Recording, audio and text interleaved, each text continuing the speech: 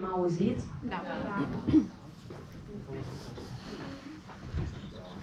Bine că ai menționat tu că este vorba despre scriitoare și scriitori, pentru că de alminter folosirea acestui singular este și nedreaptă și aiurită. Uh, în sensul în care, pe de-o parte, e un esențialism, e ceva care e scriitor și este prototip, și pe de altă parte e clar că, din păcate sau din fericire, nu știm, la ora actuală lumea cititorilor și lumea scriitorilor este populată din ce în ce mai mult de femei și bărbații bat într-o retragere incredibilă. Uh, ceea ce ne duce la subiectul nostru care se referea la relația între literatură și libertate și după aceea o voi particulariza pe experiența mea personală în relația între literatură și libertate, ca să-i avertizez pe cei care mă cunosc mai puțin. Uh, eu sunt scriitoare de mâna a doua, în sensul în care nu e profesia mea alimentară, nu am studiat literele, am studiat filozofia, am ocupat de filozofie, științe sociale, uh, științe politice și când uh, am vrut să trag o gură de libertate în care și sentimentele mele și uh, faptele și percepția directă și emoțională a lumii în care trăiesc să aibă un loc, atunci am făcut și literatură. Pentru că aici începe foarte marea diferență între aceste domenii. Respectiv, uh, o să ajung la povestea asta, începând cu ideea care sunt virtuțile literaturii. Despre vicii nu vorbim astăzi, că este o zi importantă. Uh, prima virtute e că are ca mijloc de exprimare limba. Fapt care o face foarte accesibilă, chiar și în condiții de pauperitate foarte mare. Respectiv, ce, ceilalți artiști din diverse arte au nevoie de materiale serioase ca să lucreze. Unui scriitor îi trebuie acum o tastatură și un laptop, după cum înainte a trebuit un creion și o hârtie sau o pană și o hârtie.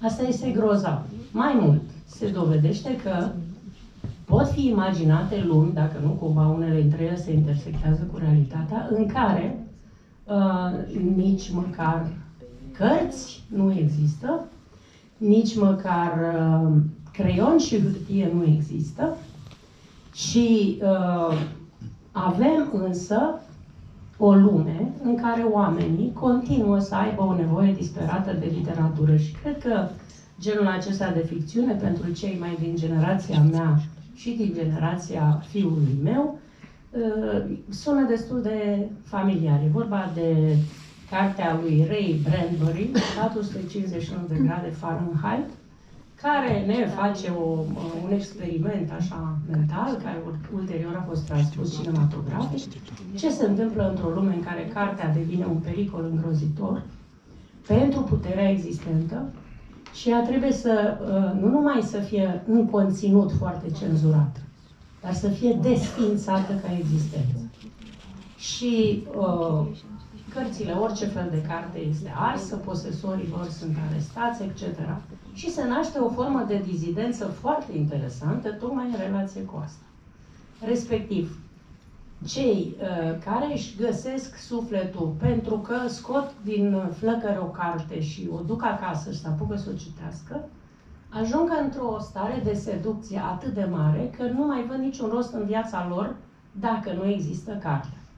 Ce se întâmplă în final este că uh, unii dintre ei pot să fugă din această lume într-una pustie și părăsită, dar fiecare dintre ei are datoria să fi învățat pe din afară o carte pe care să o poată povesti celorlalți. Uh, literatura, după părerea mea, este între toate formele de cunoaștere uh, cea care are cea mai profundă, mai intimă și mai sensibilă legătură cu uh, libertatea. O altă virtute mare a literaturii este că, pe de-o parte, ne face bogați. Cărțile pe care le ai în minte, personajele, uh, sunt ale tale. Nu pot să fie expropriate de niciun regim politic. Rămân cu tine. Nu ți le scoate nimeni din gândurile tale. Iar este un avantaj foarte mare. Sau că poți să fii tu sărac în posibilitatea de a vedea lumea. Dar poți să o vezi, sigur că acum o să-mi spuneți că cinematografia e mai ofertantă, că filmele, că documentarele sunt mai ofertante.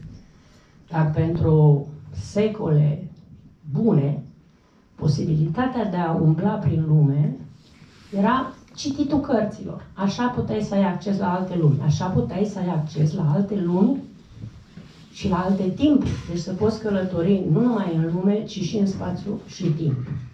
Dau aici două exemple. O să ziceți că spartinică, da, așa este. Dacă vreți să călătoriți în secolul XII, să vedeți care e soarta unui om în cruciade, ar fi bine să citiți cartea The Doom of Time. Autorul se află în sală și sper că o va traduce în limba română. Dacă vrem să știm și să trăim Bucureștiul secolului al XIX-lea, uh, ne însoțim cu Ioana Părvulescu și mergem dintr-o dată în acea lume care este uh, diferită de a noastră, dar ne prinde, uh, devine una cu noi. Sau dacă vrei să înțelegi lumea Egiptului în perioadele faraonilor, citești Maica Baltari egipteanul, care este între, alte, între altele o capodoperă, și te afli acolo. Genul de cărți care te absorb atât de mult încât nu vrei să fii în altă parte decât cu ele. Asta este o, o fascinație uh, fantastică pe care literatura o joacă. Literatura poate să fie și un semnal de alarmă. Pentru cei care au citit, de exemplu, romanul lui Huyebec, Supunere, Uh, vă amintiți că în finalul cărții, universitarii francezi bărbați, sastisiți de atâta libertate, deci plictisiți de faptul că nu mai au, parcă au epuizat uh, ceea ce însemna pentru ei libertatea, inclusiv libertatea intelectuală, ajung să se lase seduși de un regim integrist islamic în schimbul posturilor banilor și femeilor. Și intră în circuitul ăsta după așa o tradiție franceză a luptei pentru libertate cu o nonșalanță extraordinară. Sigur, sperăm că nu se va întâmpla niciodată, dar e un semnal de alarmă. Uh, Uebec ne vorbește, ne pune în gardă. Fiți atenți că libertatea nu e garantată, că oricând puteți aluneca și ajunge într-o capcană de genul acesta. Uh, literatura ne face contemporan cu lumea creatorilor ei. Și vă, mi-a venit în cap o singură treabă pe tema asta pentru astăzi, anume că din acest motiv eu nu sunt de acord cu cancel culture sau cu anularea culturii. Păi dacă uh, era, se practica cancel culture, în 1903, când a apărut cartea lui Otto Weininger, Sex și Caracter, și a fost pusă la zid pentru îngrozitorul ei misoginism, chiar și pentru vremea respectivă, de unde mai știam noi astăzi că o carte publicată în 2019, care se numește Decoct de femeie, a lui Sorin Lavric, este mult prea târzie, mult prea depășită și penibilă pentru o poveste care a fost tranșată de mult, în urmă cu 100 și bine de ani. Deci am fi crezut că el a inventat apa caldă. Nu, așa avem prototipul și putem foarte bine să ne raportăm la el. Și se spune, domnule, că am târziu. Respectiv, scandalul ăsta a existat odată. Un empigon de un anumit fel. Bine era să rămână numai empigon. Ok. Uh, despre relația între libertate și literatură sau literatura ca libertate. Noi când vorbim de libertate, vorbim de faptul că vrem să ne eliberăm de ceva. De ce vrem să ne eliberăm? De ceva care ne încătușează. cine ne încătușează? Poate să ne încătușeze mama. Și am citit romane excelente pe tema asta. Uh, țin minte că romanul Simone de Beauvoir, care a fost publicat în comunism, se numea Moarte ușoară, începea cu următoarea, cu următoarea enunț. Mamă, ai murit, mă simt eliberată. Se poate și asta. Poate vrem să ne eliberăm de tata. Poate vrem să ne eliberăm de, nu știu, întreaga noastră familie sau de condiția socială în care suntem, de clasa în care suntem, de bogăția care ne nebunește și ne face să ne pierdem timpul, de uh, statutul nostru precar de un fel sau altul, de rasa noastră, de genul nostru, de sexul nostru. Și aici voi da un exemplu cu ce înseamnă încătușarea de gen. În tot mai multă splendoare, Alina Purcaru exprimă dorința eliberării de fricile femeiești și imposibilitatea boemei la feminin.